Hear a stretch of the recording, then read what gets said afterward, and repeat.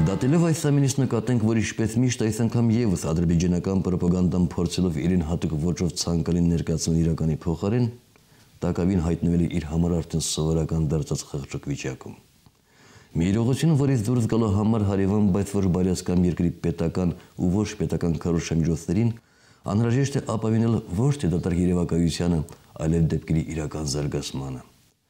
Հակառակ դեպքում կարծեցյալ օպերացիաների մշակ գեներալ Աբիևի զինվորները գրաված բարձունքներից հնարավոր է տեսնեն ոչ թե Մարտակերտն ու Խարավաճառը, այլև իրենց գերագույն գլխավոր հրամանատարի նստավայր Բաքվում։ Հաշվի առնելով փաստը, որ հուլիսի 27-ին իբր տեղի ունեցած ռազմագործողության մասին տեղեկատվությունը մեծ արձագանք է ունեցել ադրբեջանական կողմում, ադրբեջանական Բիզիմյոլ լրատվական գործակալությունն իր սեփական հետաքննությունն է անցկացրել, հաղորդում է Panorama.am-ը։ Լրատվականի հետ զրույցում վերոնշյալ զորամասի սպաները հայտնել են, որ երկրի պաշտպանության նախարար Սաֆար Աբիևն ընդհանրապես վերջին 1 տարվա ընթացքում իրեն զորամաս չի այցելել։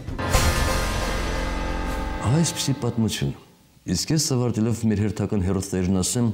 որ այսօր պատահական չի հիշեցի Քաժնազարի մասին հեքիաթը։ Հեքիաթ, որը ժողովրդի կողմից սիրվածնելով հանդերձ մնում է պատմություն Նազարների մասին։ Պատկերացնում եք Աբիևը դրոշով մռվի գագաթին։ Ես ոչ։ Այսքանը կհանդիպենք